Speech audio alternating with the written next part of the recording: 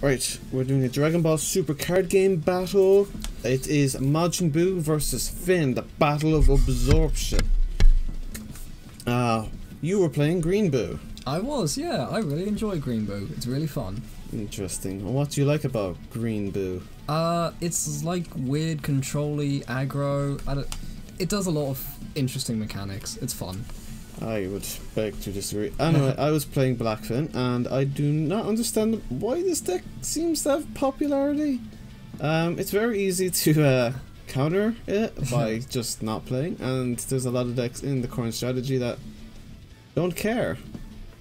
Yeah, I don't know. Pe- like Fin, people always say, "Oh, Fin, next meta Fin." It just seems like such an underwhelming deck.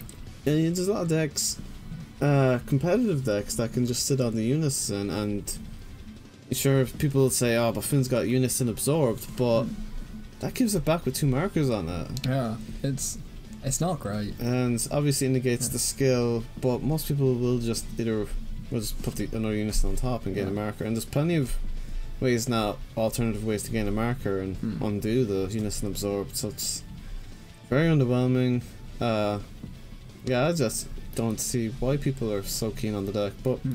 I tried the deck out, tried it for myself to see what people um had to love about it, and I didn't find out much.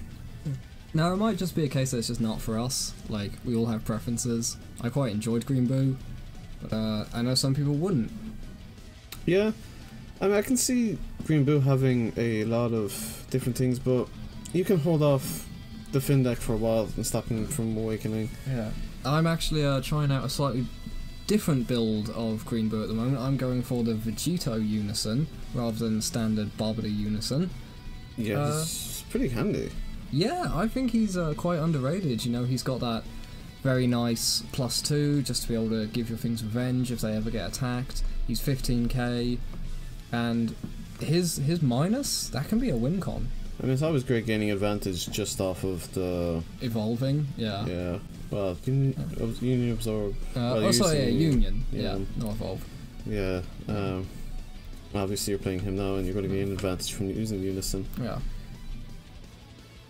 Um. And I'll, Mm. okay, this is the very special. Uh, yeah, sadly, I actually uh, misread and put that out yeah. turn early. Yeah. Yeah. Okay. But there we go, going into the, the good old four drop. Uh, this card's actually pretty good, you know. It's Spirit Boost to play a token, and then it can remove a token to save itself if you really want it to. Yeah, it's always handy. Um, there's just Yeah. give you a better representation of a token. Um, Awakens Lair, Hmm. and you know you're very much in the driver's seat awakening before Fin. Uh, the problem obviously is now you have a battle card out, so Fin can actually Yeah. finally evolve when you pass turn. Hmm. But And like, I could try and save it by using the token, removing that, but I was actually thinking it might just be better to just straight up let you take it early. Uh, that's kind of the thing, and obviously you just kind of want to progress the game still. You want to just, Yeah. you know, hold on to just whacking with unison and dragging out the battle. Uh, Fin obviously uh, can awaken us in a way doesn't necessarily need you to absorb a battle card to awaken. Yeah, see, at that point, I was like, I actually think I might just want him to awaken at this point because if I if I just save the token, he's gonna just awaken standard wise, and then just absorb the normal thing anyway. Yeah. Um, I think Buu has got a lot more options than Fin. Fin kind of has to play towards what your opponent is doing. And if your opponent isn't doing much, then Fin really is just kind of stuck there.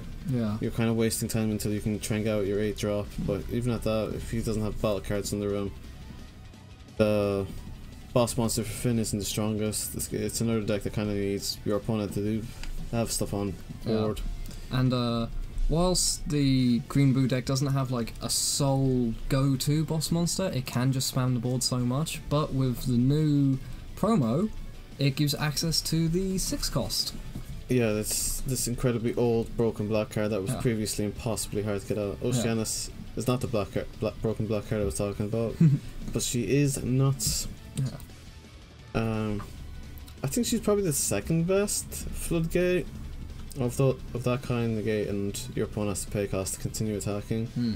I don't think anything touches robotic repost, but Yeah, that's just that one's just so good. um, but it's I think this is especially this format where you have U seven Goku and you have a lot of Here we go. Here's the sixth draw. Yeah, this card rediscovered. Uh, I can't wait to. I mean, this is what kind of makes me more interested in Green Buu is single this card single handedly. Uh, the fact that you can stop your uh, your opponent from adding cards from deck to hand, and he's a was it thirty k triple strike? was it? He's a 20k base, but then he can pay free to make himself 30k triple, yeah, which is so strong. And he he's like Slug. When he's in rest mode, the opponent can't add cards or draw. But instead of having barrier, he has a permanent where this card can't be removed, which means that just for so many decks, unless you're playing something that can negate his skills, he's he's never leaving the board. Oh yeah, Yeah. like he is so tough to remove. I Yeah. do a lot of attacks on him to try and Hmm. remove him because I know when that triple strike comes true, it's I had I'm on three life Hmm. at the moment, so I know it's over for me if I don't remove him. Yeah. So I really do put a lot of my ballot attacks into it. Hmm. And having him be an activate battle rather than activate main is just so strong because you just you swing. If they negate, nothing happens. If they don't negate, you just kill them. Yeah, it, it'd be like that sometimes. Um, unfortunately for me, I don't think I got through to the big big ass Buu. Uh, I wonder how consistent this is going to be going forward because I do think I don't know if this is strong enough to uh, win a regional event or consistently do it. Hmm. But how do you feel? Do you think you could take this to a Um, regional event? I think I definitely could, but it's very like it draws a lot. But its problem would be a either a yellow matchup where they can negate its skills with something like Final Flash, or especially in a red matchup where they just minus everything because minusing just gets around this card can't be removed. So until U7 Goku's out of the meta, I don't think Buu can do that much because it's just such a matchup check. Yeah, U7 Goku kind of just suppresses a lot of decks from breaking in. Uh, just the fact that you can ignore barrier and minus. Yeah, and even though like you can say yeah, Queen Buu can eat the things from uh, Goku's drop area, because it's like on the front side four costs or less, you're not hitting anything too impactful in their drop area at that point. Hmm. Um. Yeah, and it's got a, lot of answers. It can remove Buu probably a lot faster, and it can remove the. How much power does the promo card have? Promo card, I believe 20k. Okay, it's not. It can't be out by the Vegeta. Oh no, the, the yeah the Vegeta counterplay won't Hmm. stop it, but it could. It could probably stop it earlier. Hmm. Um. And especially with this current state of Green, of Dormant not being as good as it used to be. Yeah, Green has really been shafted with bad staple cards. Recently, anyway. Yeah, Yeah. I think they got some good stuff in Rise of the Unison, and then after that was it's been downhill. Like they still have Charismatic Villain, one of the best counterplays ever made, but Dormant's just not the card it used to be. Maybe it will come back though. Um, you know, I mean, it's all format dependent, but we'd have to see. Uh, Bandai bring out some heavy bands Yeah. to bring Green back at this point. I'm not like even looking at. I mean, obviously, the Green reveals of recording of time of recording haven't been revealed yet, aside from Green Yellow stuff. But I'm not holding up much for Cooler and. Metacooler. Jeez, he is both really. Yeah, he is both. I, I, I frankly, I just don't hold up much hope for him bringing Green back. I could be wrong. Yeah. Uh, they have a habit of Frieza army cards being a bit busted. Yeah, They do like the Frieza clans to be pretty good. You know, like, yeah, yeah, it's the Frieza army, it's Frieza clan. Yeah. It's, it's so tough to. Yeah, but uh, uh, for the moment, Fin's making a bit of a comeback. Oh, I'm just going all out, Yeah. just trying to get rid of that bloody Colossus. Yeah. Buu. Uh, yeah, That's how you know we used to play Yu-Gi-Oh! right there. he's just ginormous pain in my backside. Just knowing that triple strike's coming. Mm. Also, just not being able to super combo or draw. Yeah, that killed me. It was when I super comboed and then didn't get to draw two. Um, but yeah, it's just absorbs so many attacks. This Stella Kamehameha doesn't help me at all. Mm.